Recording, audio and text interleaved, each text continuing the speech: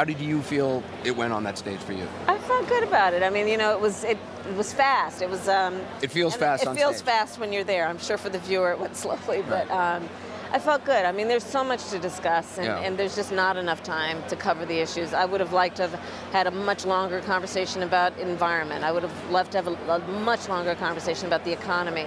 Um, it, it- you know, there are so many issues Yeah. that I think the American people actually want to know where we stand and that we're thinking about them. Uh, from the moment uh, the vice president came out on stage, I think the first thing he said to you, and it's gotten a lot of pickup and a lot of people talking about it online, uh, I believe the words were, go easy on me, kid. I'm wondering how that, you interpreted that. It- it- that, that's what he wanted me to do. Um, I didn't really think much about it, to be honest with you. The kid, that's what people, has, was that an issue for you at all? No, no. The, um, did you, the, the, the But I'll tell you why. Yeah. Because we're both on that stage running for president.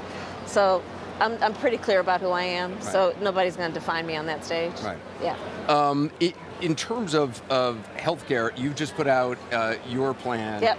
Um, in past debates, people have raised questions about where you were on whether or not private insurance should be taken away from Yeah. people. Uh, your plan is essentially kind of a Medicare for all, uh, except uh, people can keep their plans uh, if they like them for the first 10 years. Is that correct? Essentially, there's a 10 year phase in. But it, what I've done is that, you know, I have to tell you, Anderson, I've been listening to people. And I said from the first day that I announced my candidacy that I, especially at this phase of the campaign, will listen as much as I talk. And I've been listening to people. And they want to know that they have an option to keep a private plan. And I respect that. And I, you know, listen, I, I knew I was going to take hits for it. I knew it. But I, I'd much prefer to be relevant at the end of this process than to stick to something that I don't believe is the best option and the best way to go for the vast majority of Americans. Do you think uh, Democrats who are holding on to Medicare for all, take away private insurance from everyone, uh, is that a politically, is that a, a, a suicidal political move for the Democratic Party? I mean, I'll leave that to the pundits, but I know what people have told me. I know, I'm, I'm spending a lot of time in Iowa and New Hampshire and South Carolina and Nevada. Uh, people want to know that they have an ability to have an option that is not only the, the, the option of, of government sponsored health care, but also that there is a private option. So here's what I propose to do is to allow the private insurance companies to basically comply with the requirements I'm putting in place for who will be part of our Medicare system. So for example, it's n they can no longer be about jacking up the prices around deductibles and copays. It will be the case that regardless of whether you have a private Medicare plan or a public Medicare plan, and when you walk into that doctor's office, you're not going to have to lay down a credit card, you lay down your Medicare card. but in, in your plan, eventually, everyone would be taken off a private, uh, the private plan that their company currently has. Yes, but let me. But I, it's important that I explain that because I think there was a, a really a misinterpretation of that on the debate stage tonight. Employers right now offer their employees a private plan. I am separating the employer from your health care.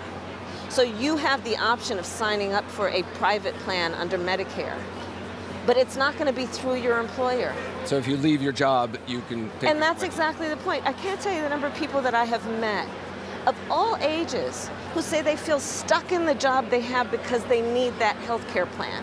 That should not be the case in America, especially when we talk about the fact that over the next 15 years, up to 40% of the jobs that currently exist will no longer exist. We have to adapt to the changing times, which includes that a lot of people are changing their employer on a much more frequent basis than used to be the case. Used to be the case, you come out of school, high school or college, you go work one place, and that's where you work until you retire. That is no longer the case in America. And no one should have to worry about losing their job or changing their job because they may not have health care once they make that decision. In terms of the uh, the discussion you had with Vice President Biden uh, in the last debate, it came back up.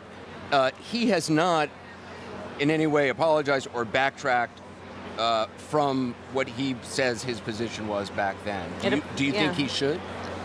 I, well, we have a disagreement, and that's it. I mean, we have a disagreement. I, it, it, you know, let's revisit the issue. Because he's he's not portraying it in.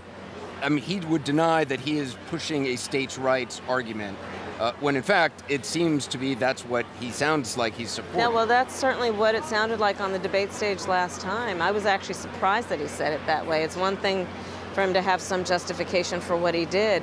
But to say that essentially that this is a states' rights issue and that the federal government shouldn't intervene, I find to be absolutely, frankly, outrageous because it has been the federal government that we have needed to intervene on civil rights issues, be it on issues that relate to, to to race, issues that relate, you know, voting rights, Civil Rights Act, the Equality Act that I hope to pass all of that is because the federal government needs to act on civil rights issues. I mean, the National Guard had to be called in, and you know. Yeah, of course, of course. So we have a disagreement, um, and I. Some of the toughest critique uh, or, or, attacks at you came from Tulsi Gabbard. Mm-hmm. Uh, just for our viewers who haven't seen it, I just want to play some of that and and uh, and, and have you respond. Okay.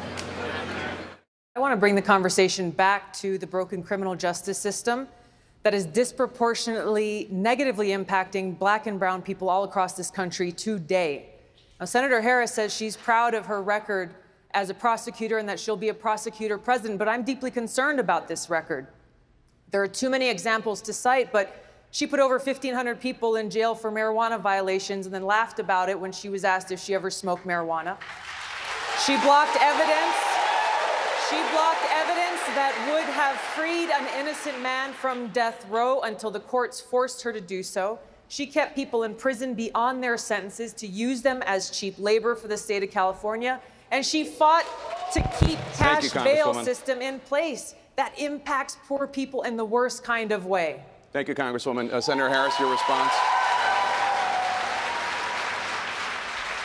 As the elected Attorney General of California, I did the work of significantly reforming the criminal justice system of a state of 40 million people, which became a national model for the work that needs to be done. And I am proud of that work.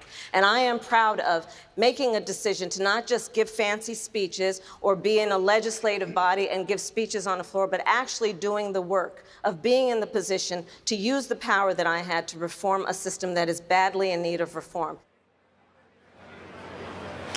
Did you did you expect that uh, from Tulsi Gabbard? Uh, had had you had interaction about that in the past, and how do you think it went?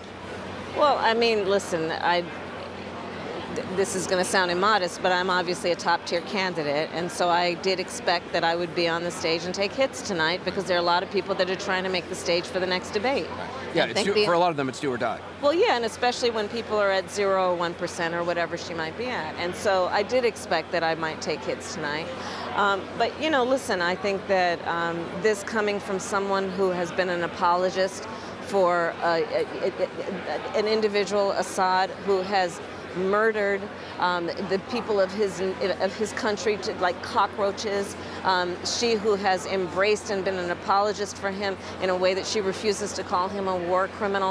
Um, I, I can only take what she says in her opinion so seriously. Um, and so I, you know, I'm prepared to move on. Uh, in terms of just being on that stage, the the learning curve of it, it's obvious. You know, candidates get better and better and better through this gauntlet, and yeah. it's not a pleasant gauntlet, yeah. and it goes on for a long, long time. Yeah. Um, do you see yourself the way you were tonight, much different than the way you were the last debate, and that debate the way you were, I don't know, two months ago? I mean, do you feel you're a quickening? I mean, do you feel a, a, a, a comfort level? Well, I mean, certainly th- there is nothing normal about this process. and I don't know that there's much in, in the normal this feels human totally experience, normal right, exactly, that would prepare one for this process. I only exist on TV, yeah, so. Yeah. exactly, right? yes. And people come up to you and hug you as though you're yes, their brother. Am, yes, of everybody. course. And you are, in a way. uh, virtual brother.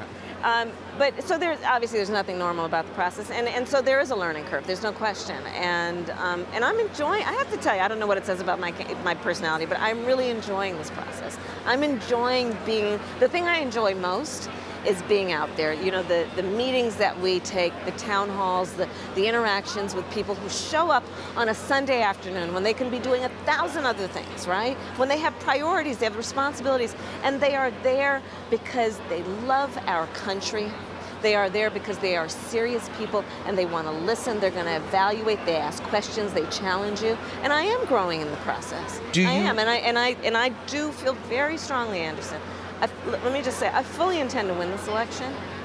But for me, the, the metric of our success will also be that at the end of this process, we are relevant. And the only way I can ensure that is to make sure I am listening as much, if not more, than I am talking.